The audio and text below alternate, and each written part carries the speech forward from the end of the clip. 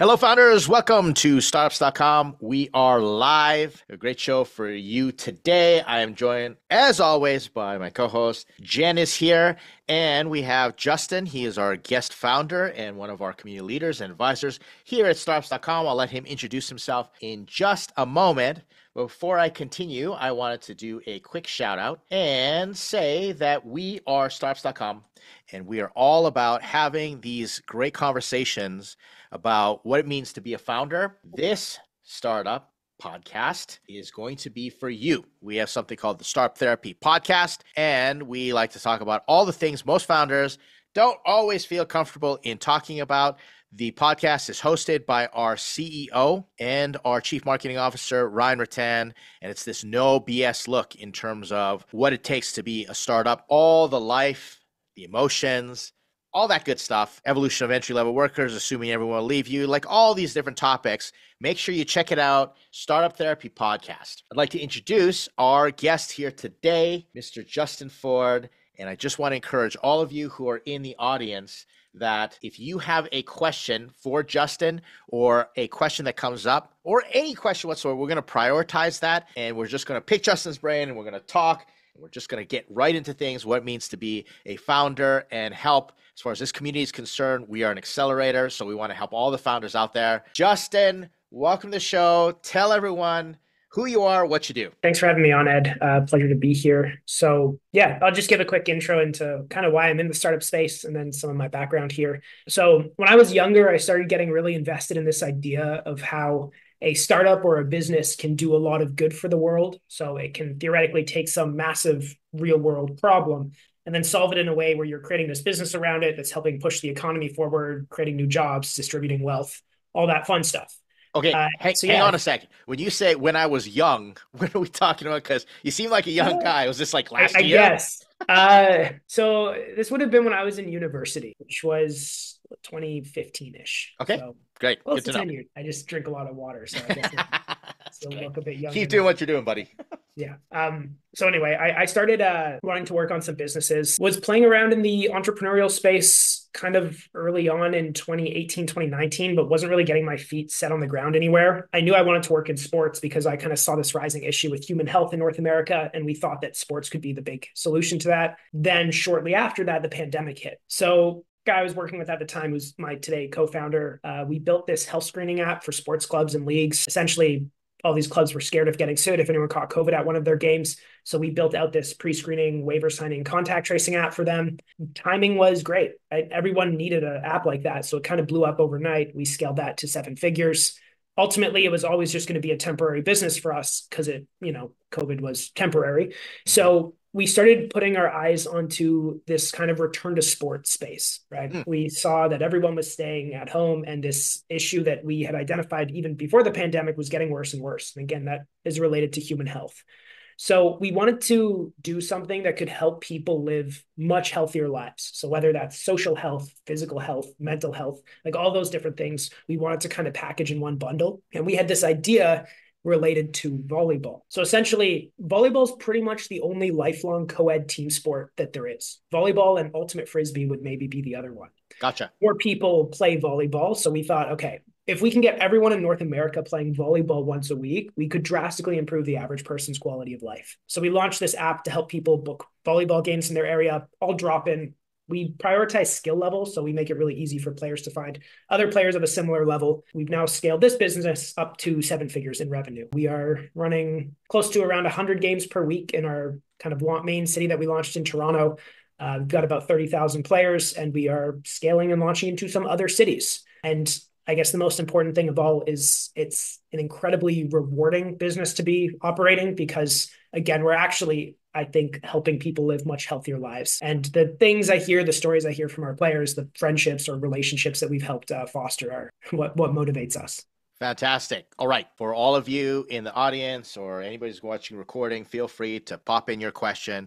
I'm going to rip Justin with a few questions just to give us a little bit of context. Let's talk about sort of the main highlight stuff. You say that you're at seven figures of revenue, so that's awesome. Congratulations. Did you raise money? How much money did you raise? What's the financial picture? Yeah, so we we raised some friend and family rounds, and then we also self-funded with the money we made from our previous venture. That was enough for us to get to profitable with our current business. I'm potentially eyeing another raise right now, looking to start scaling into the states. But to be honest, it will depend on the market. Sure, uh, it's a bit of a tough market right now, so we're thinking of maybe holding off until next year. Maybe we'll try to pull the trigger this year. The best part about that is you don't need to raise money. It would be nice to throw gasoline on the fire. But what you did is you met a need in the marketplace and you pretty much built something, it made money, and then you continue to iterate according to the needs in the marketplace. Who is technical? How did you build it? Give me the configuration, your team, co-founders, etc. Sure. So yeah, I did some programming. I, I, back in the day, I studied math in university before switching into business. When I launched this initial kind of venture in COVID, we actually just managed to bring on a, a developer who wanted to work on the the problem with us, my co-founder and I. So we built that business with him, and then we used the money from that to be able to pay a team here. So while I can speak the language, I haven't coded in a while. Uh, and yeah. yeah, we have a team doing that in house. Okay, so that's really great. So one question I'm going to ask because a lot of our founders here at startups.com they're not technical. If you had to give advice, let's establish this here. You are non technical, you brought on technical people, you create a business that did million dollar plus in revenue. What is the secret? What would you advise non technical founders to do if they're in the same spot? So, well, first off, the main piece of advice is get a technical co founder. yeah. It'll make your life a million times easier. Oh, yeah. Um, well, I mean, when we launched this like COVID app back in the day of it was it was insane for us. Like I wasn't sleeping at all that time because like just the volume of customers we had coming on. I mean, I we couldn't handle that. Our platform couldn't. It was a, a bit of a nightmare. But with that being said, generally, if you can find a good timing piece, it's generally a lot easier to make things happen. So we had we used COVID for two of our big timing pieces, right? We saw when COVID happened, people will need a health screening app. And then we saw at the tail end of it, people will want to get out and socialize there's always going to be something happen and happening in nearly every industry. So identifying what those trends are and then kind of looking into the direction that your industry is going, that will make your life a million times easier. I know startup investors like to say team and timing are the two big things they look for. Realistically, good teams are constantly identifying and executing on timing trends. It just comes down to being very cerebral with what's happening in the different spaces that you might want to be working in and executing on on helping, I guess, move them along in the direction they're going. Sure. That doesn't answer the question though. Let's get a little more explicit. We have non-technical founders. Let's just take for granted they're able to see that opportunity, get in there. But how did you get to the point where you got somebody technical, a developer, you've been doing it and you haven't lost your shirt, you're not losing your mind, you're not frustrated with like a developer team in India or someone that's ripping you off because this story happens over and over and over again. How did you manage to pull it off? Yeah. So I put some of my money up like right out front. And at one point, like, I mean, I, I got down to $500 in the bank at one point and our company was 15K in debt. uh, okay. So yeah, don't like don't do that.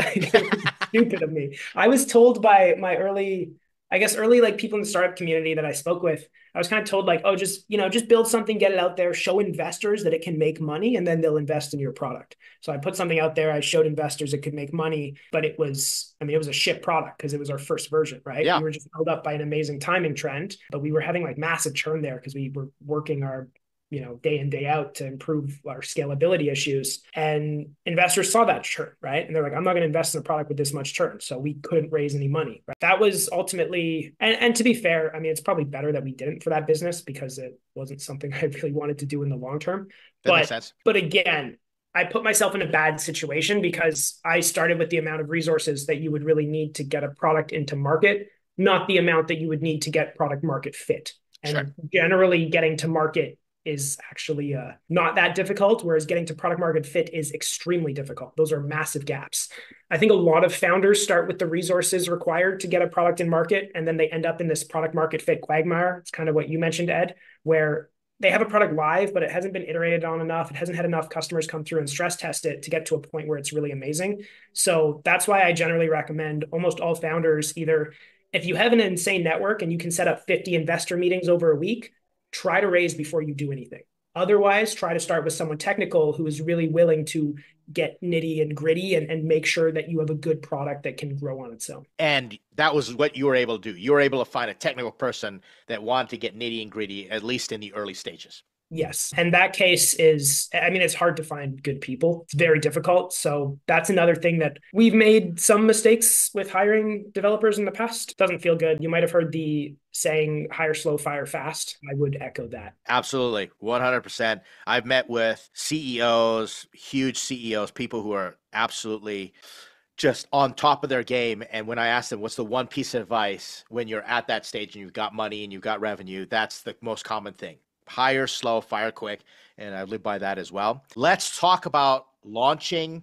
You get a product out there, and then you talk about that quagmire. So, how did you get to the point where product market fit? You got 30,000 people on board with your app right now, which is amazing. I love the fact that you are really taking on a specific city, a location, and then you can show how you've done that. And you can tell investors, okay, we go to other cities like pouring gasoline on the fire. What was the process that you went from, okay, it works, someone's going to pay us, to now 30,000 people are on board. How did you get there? So, yeah, it, it, goes back to that term I used earlier of being cerebral. I, I think for me, that is one of my mantras and kind of everything we do, where we're trying to operate as closely to the truth or as closely to reality as we possibly can. I think in general, it's really easy to kind of convince yourself that things are one way, oftentimes, like whatever way is most convenient for you, when the reality can oftentimes be pretty different.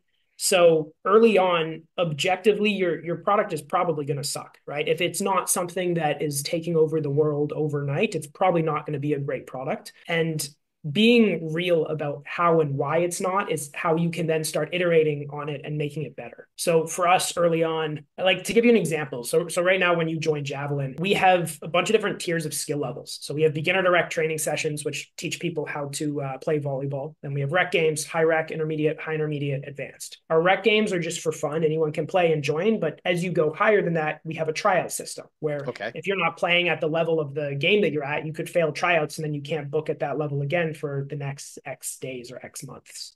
We okay, also have a quiz that players have to pass. Hang on a sec. Let's let's yeah. stop here for a second. How much volleyball do you play?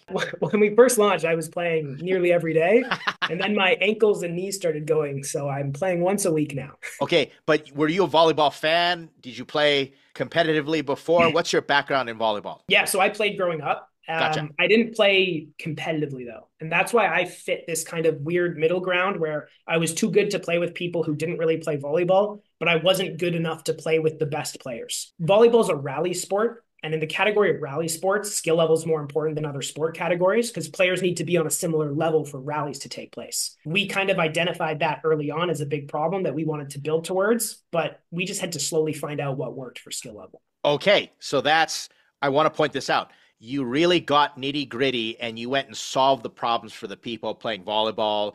You experienced a bit of it before, and that's how you came up with this system of tryouts and the recreational, et cetera. Okay, so I think that's going to be one big secret that I want all founders listening to this to take away is that Justin really went in there and worked with the problems, understood, gained some insight. I have no idea what a rally sport is. That just is total French to me. But because Justin knows that, he can adjust his product offering and build from there. All right, first phase done. You got that onboarding process, which is going to be important. Then, what other things did you do to get to product market fit? Yeah. So, fundamentally, we're a consumer company, which means we kind of play by different rules than I think a typical B2B company would. So, when we were initially launching, we used some paid, for example, right? Just to get our name out there. Uh, we worked with some podcasts. We would post on different social media pages. We would work with different courts to get our name out there. We did that for about the first year to kind of build the initial player base. And because again, our product was bad initially, like it, it was a legitimately bad product. I can't sure. stress it enough. It's just people were desperate to do something after COVID that they were okay with playing in our bad volleyball games because it's better than nothing.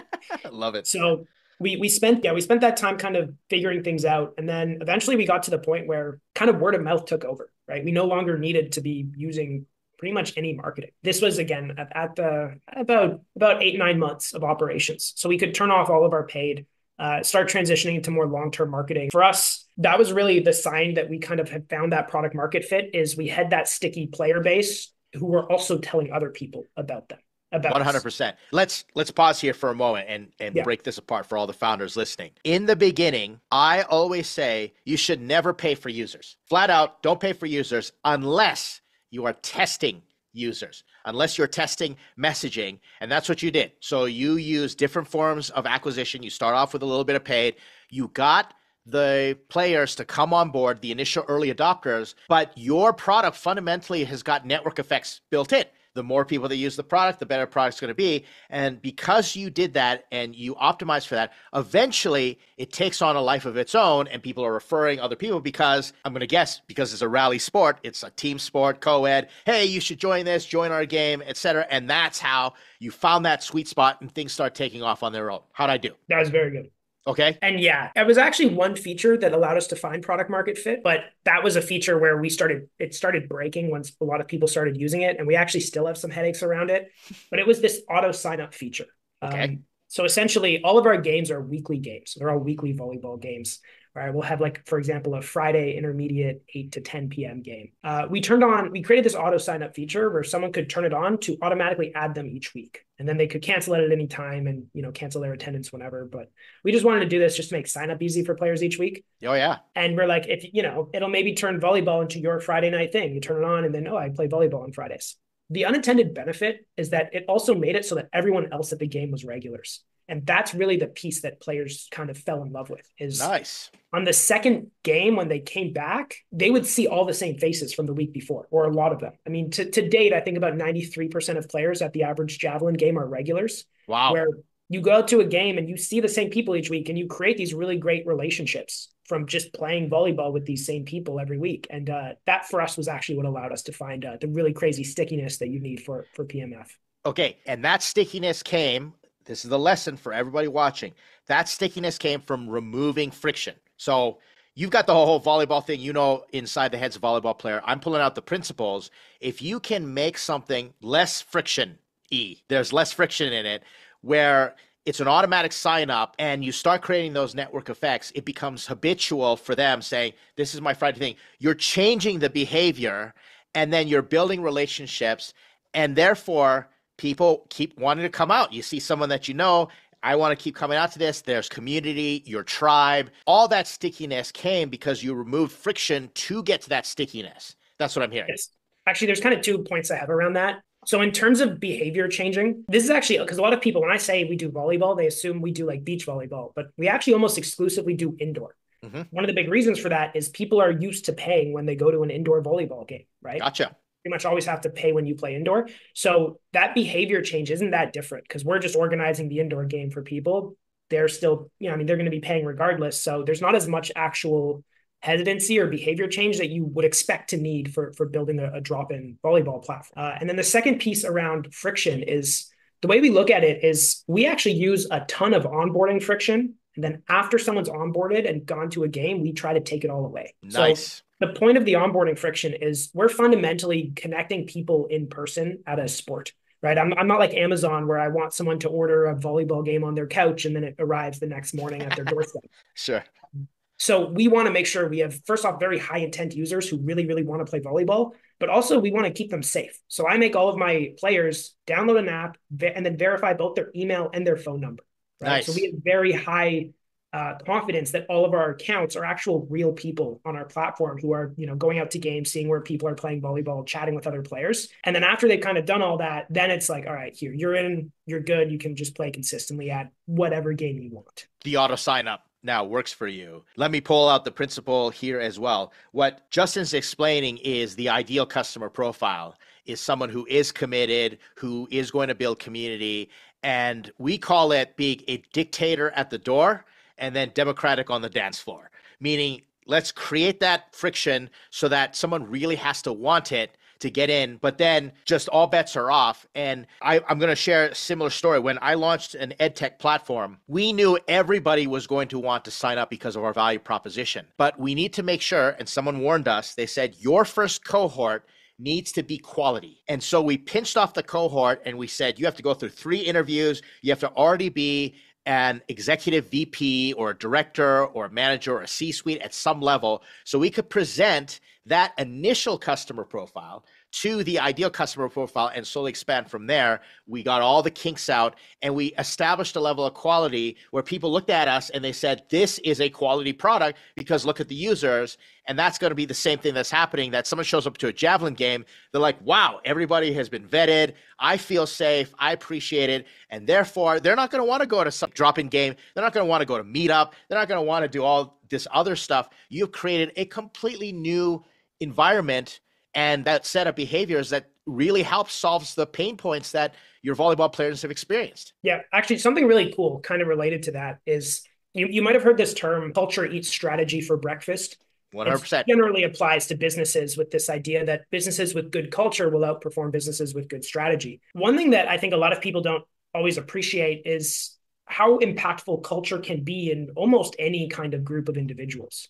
So, one thing that we lean a lot into is trying to set up good culture at our volleyball games. And we do this through a number of different th- ways, like one of which is just being very clear that you know we expect players to help facilitate fun games safe games and positive experiences positive environments and then another thing that we've done that actually helped the overall quality of our games a lot is when it comes to our tryouts and uh, rating players we overemphasize skills like passing or setting, right? Skills that are essentially helping giving your teammates good balls to play with. Gotcha. Over a skill like hitting a volleyball, right? Nice. Which I think most people have a tendency of caring a lot about.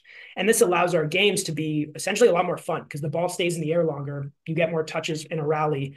And just, yeah, get small emphasize emphases like that make a big difference as they cascade into the community. Everyone embraces them. And overall, things just get a lot uh, better for all, all of your members you use technology to guide user behavior, which helps with the experience, which helps with culture, which helps with network effects. I love it. I'm curious. A lot of founders would be tempted to go and do what you did for every sport, not focus just on volleyball. Let me just point out a few things for everybody who's listening. Mark Zuckerberg, when he did Facebook, everyone said, Oh, Facebook is a way to meet new people. And he was like, No, it is not. Absolutely not. He said Facebook is a way to help you organize the people you already know and have better relationships with them. It wasn't about meeting new people. So here what we're doing, and that's what Justin just described is people already paying, they already have the experience. We're just making it better, removing the friction of what they already do. Fantastic. Step 1. Step 2, Mark Zuckerberg says, we are not going to allow anybody to use Facebook unless they have a Harvard email address.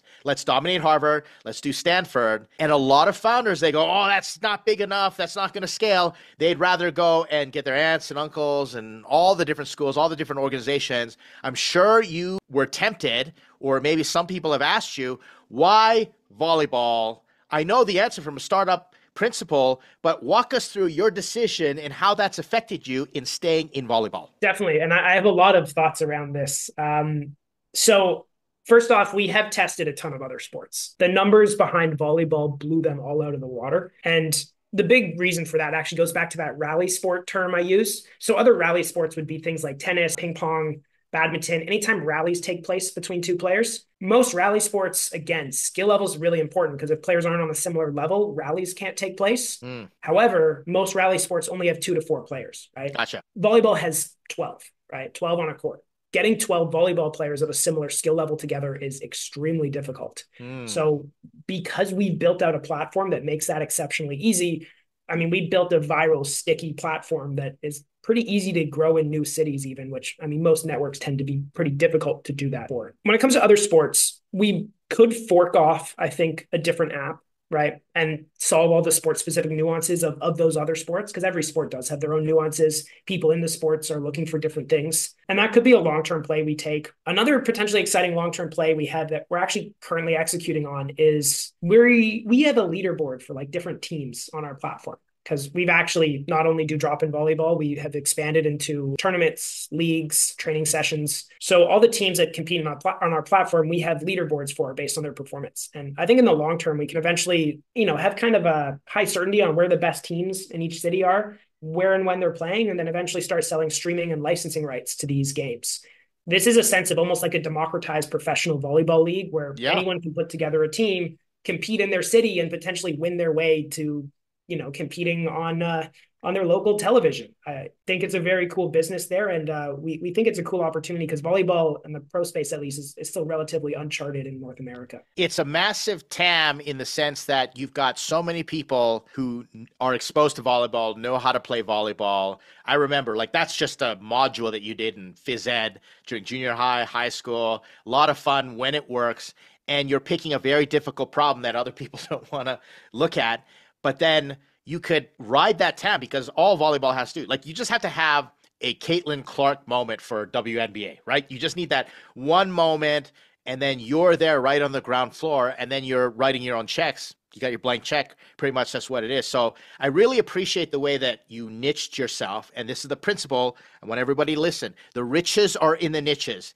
in the beginning. Go to a niche and then expand from there. You have to expand from there once you've dominated that niche and you're going to generalize, but the riches are in the niches. It's fantastic. Okay. So, but I'm, I'm curious because I have contacts in the ultimate frisbee space. I would think that ultimate, the field version, not disc golf, it's a completely different thing, would sort of lend itself to what you're building. Am I wrong? So, yes. And we actually did test ultimate. Issue with ultimate, well, there's a few potential issues. First off, us being in Canada, we get a ton of seasonality. So people would play Ultimate outside in the summer and then move inside in the winter. Second issue, and this is actually another issue similar to basketball, is most Ultimate players aren't really willing to pay for Ultimate. Similar with basketball, most basketball players aren't really willing to pay for basketball. They kind of view them as sports that should be free. Gotcha. Every volleyball player is willing to pay for volleyball. So I love it. It's actually a much bigger potential business when it comes to just the drop in space. I love how much customer discovery that you've done. Huge amounts. When you say cerebral, you have thought it through and you are a thought leader in that space. That's fantastic. Let me take a little bit of a separate fork in this conversation. Talk to me about your friends, family, and associates raise. How much, if you can share, just in general figures, did you raise, and how did you go about doing it? Because a lot of our founders, they need to do that before going to VC. I'm going to talk about VC and your experience with that in just a moment. But FFA. Yeah. Um, so essentially, I mean, I knew some people in my immediate network who had some money. I, I was building early on, though, and we kind of thought we didn't really need much external funding. So we were just building for a while. I got.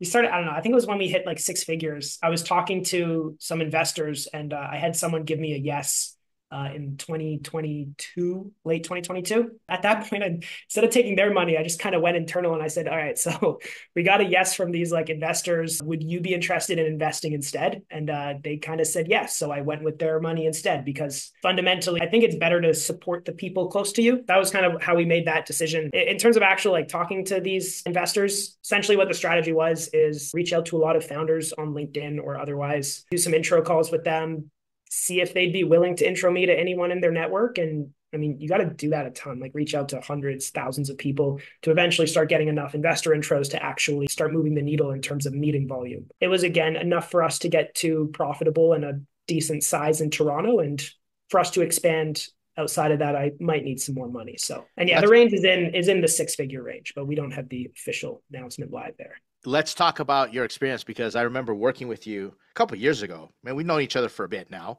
a hot yeah. minute, and we were going back and forth on your pitch deck. Like you really push that pitch deck in all the meetings. What's the secret, do you think, in terms of positioning yourself in front of investors, pitch decks? Like, what were all the tools that you use, and what are some best practices founders should learn from you? I think it depends. On, eh, you kind of want to position yourself as a business founder or as a product founder.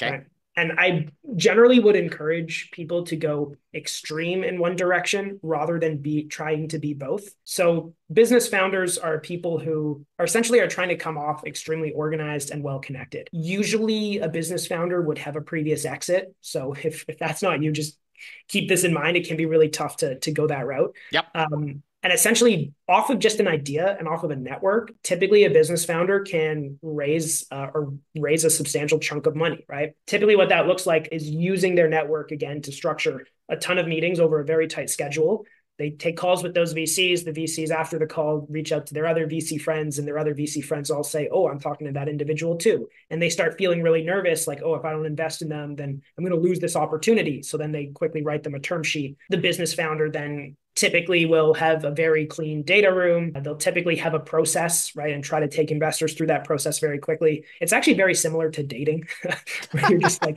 go on as many dates as you can and just keep trying to schedule the next date and come across as confident but not overly pushy, stuff like that, right? Okay. In terms of the consumer founder, typically what you're trying to look at, like, is very busy, which is kind of funny, where it's like you get some general deck, right? That just goes over like, look at how fast we're growing. Look at how amazing our product is, how much our users love it. Totally. And it's just an intro deck, and you just circle that to as many investors as you can. And then investors are curious about this and they'll reach out to you and you say, Oh, sorry, I'm busy this month. Can we talk like this week and this next month? And gotcha. hopefully you can book a bunch of investors into that week and yes. you kind of end up running a similar process. But it's more, again, centered around your customers and your product than it is around things like a data room or your financial model or anything like that. Let's explain this in a few different terms here. When you're talking about a business founder, what investors are looking for is the exceptional founder. So if you've had a previous exit and you took something unicorn, yes, Elon Musk is one of those founders. He raised $6 billion for XAI and it's not even a thing yet. He just puts it out there and says, I'm raising for this. Jeff Bezos came to me and said, Ed, invest in my next startup. I have no idea what it is, but it'll be good. I would write him a check, right? Who's not going to write them a check?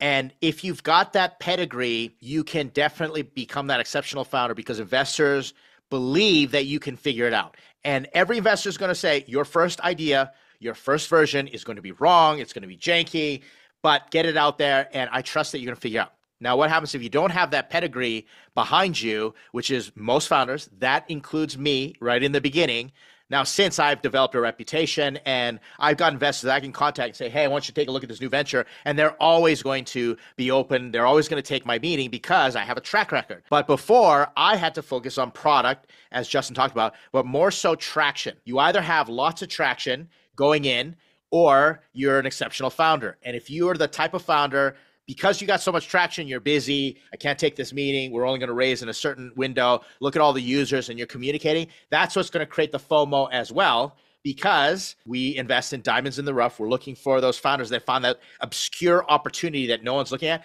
underserved, underrepresented, underestimated. And I think that's where volleyball falls into the whole equation. I love the concept of it because it's like you have no idea how many people play volleyball on a casual basis and how hard of a problem this is. That's why competition is going to come and solve it. Yeah. I mean, if you go into the actual numbers and Google them, I think you'd be surprised how many people play it globally. And it comes back to the fact that it's a lifelong co ed sport, right? Mm-hmm. There aren't many sports in that category.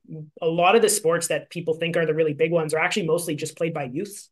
So a lot of the adult sports haven't really been built for yet. And we think this is a really cool opportunity to show people that you can build something really big and really impactful in the adult space. Okay. Now, tell me about your experience because I know you did this. I remember you're taking meetings with legitimate VCs. You went around.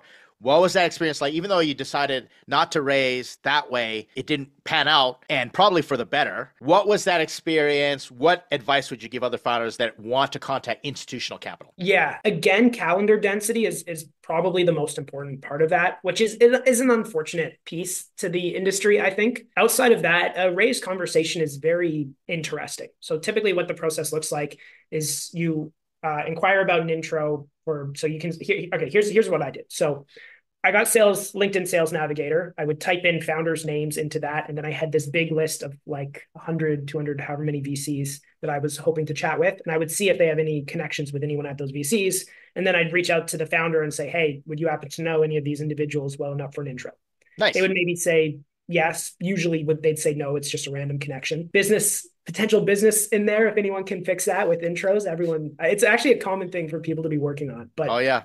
anyway they'd reach out to the actual investor so they'd forward this investor a blurb from us. That blurb is so important. A lot of people talk about the pitch deck being important but that intro blurb is probably more important. Huge it's huge. The investor would read through it and just say yeah i'm interested. No i'm not. Uh, it used to be more about market size back then. Like you would just convince investors hey, this is a big market, and hey, I can raise a lot of money. And if I keep raising money in a big market, eventually I'll win it. These days, it's more about, hey, I'm building a good business with good fundamentals. Here are our revenue numbers, traction, all this stuff. So, anyway, that intro will get you the call. Um, Again, try to schedule all these meetings over a tight window. You can then send over an intro deck before the actual meeting. Just say, hey, just go through this quickly so we can get into a deeper conversation during the actual call. Usually they don't, but regardless, you jump yeah. on the call and I got some I've got some interesting advice on how to handle these calls. It did work, but keep take this with a grain of salt is like I wouldn't I wouldn't go too far down this route, but I know a lot of the founders who do and it works extremely well for them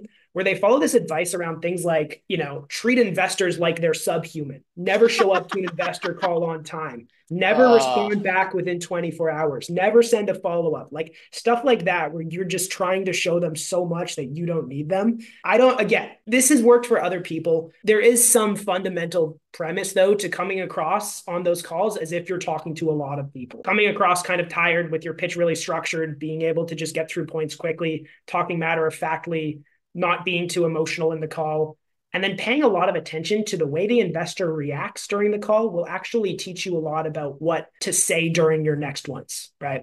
You'll say something, right? Like a big common question is in the long term, what do you want to do? And they're all looking for me to say, oh, I'm going to launch into every sport and take over every sport.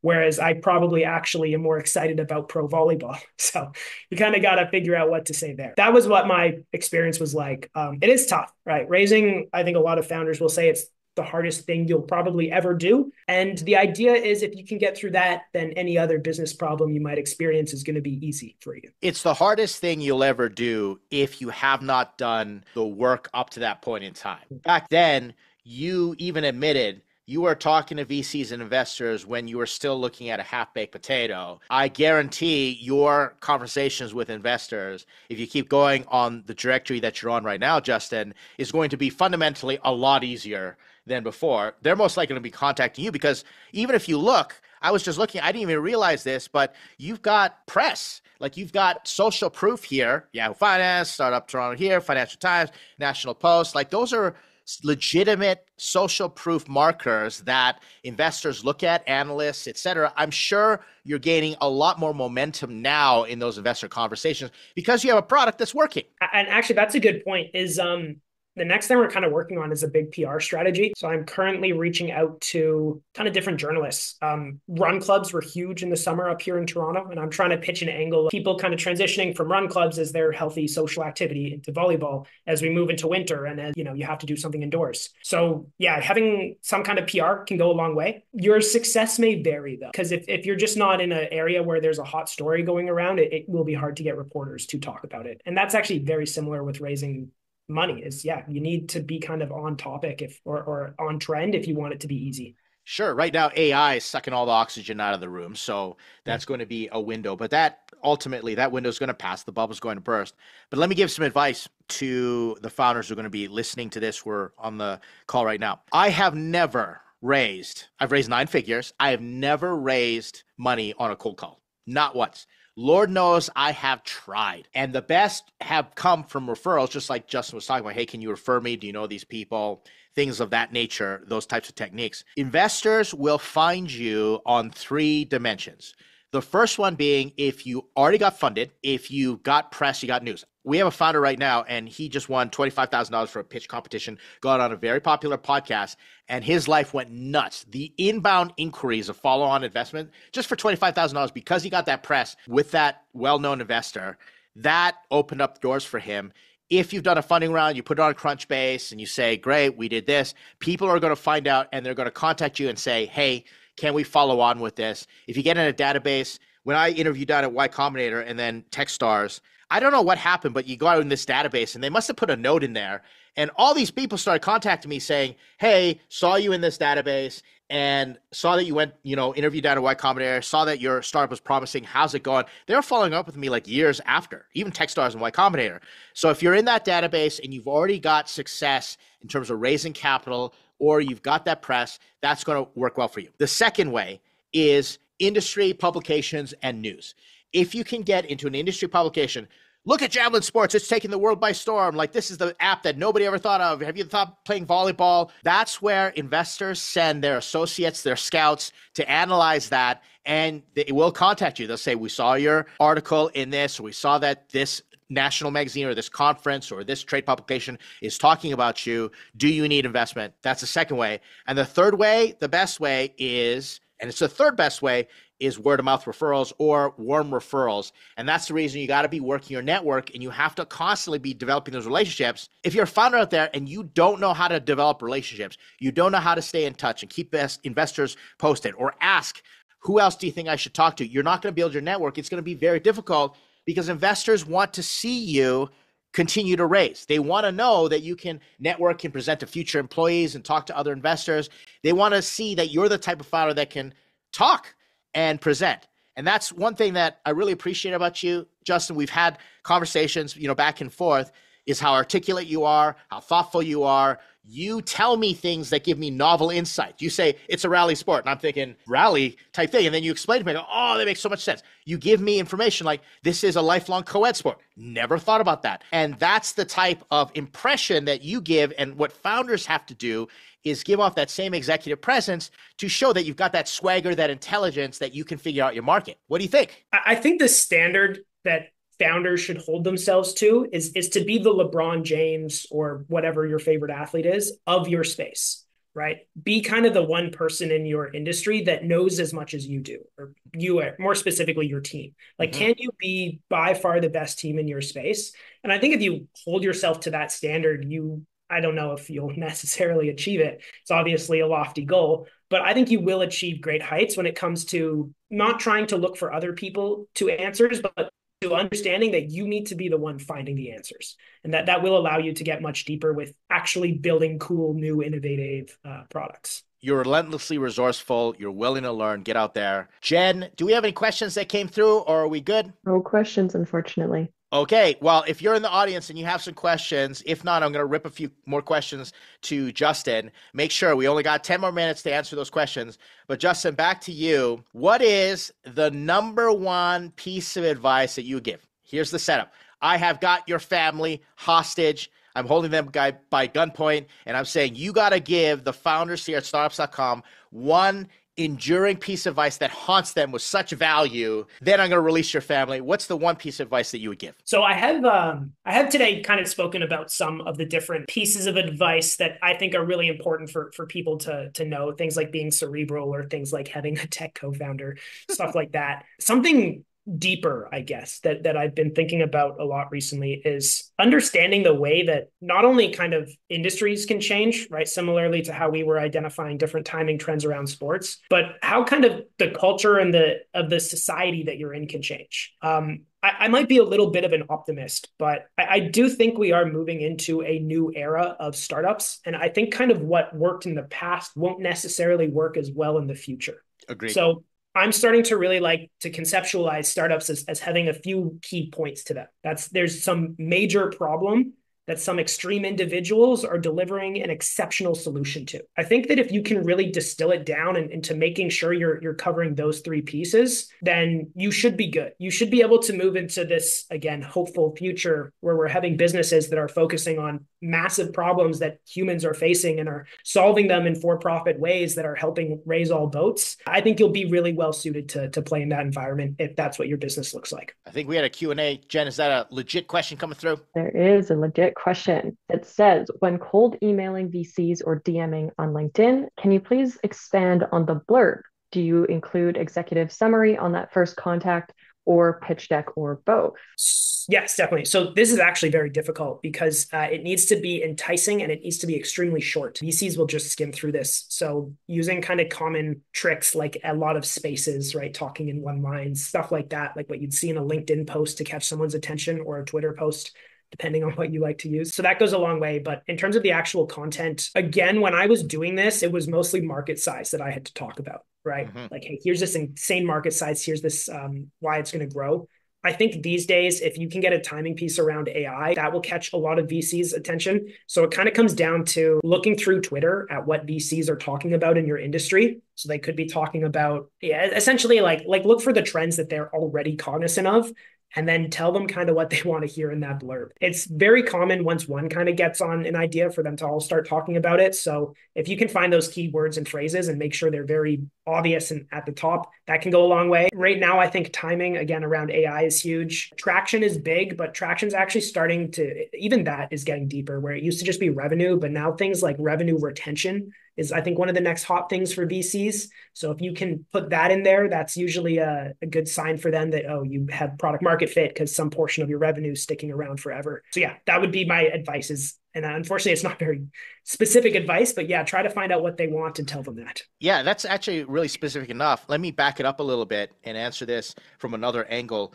What justin just demonstrated is use a tool to get their attention. So if you can make it contextually relevant there are other techniques that you can use such as pay them a compliment. The first thing hey i really enjoyed your talk at this at techcrunch disrupt or i really enjoyed your podcast that's what I respond to. When someone strokes my ego right in the first line, I actually open those a lot faster. The other thing you can do is if you can catch their attention, that first little preview line is so important and you can go so far with it.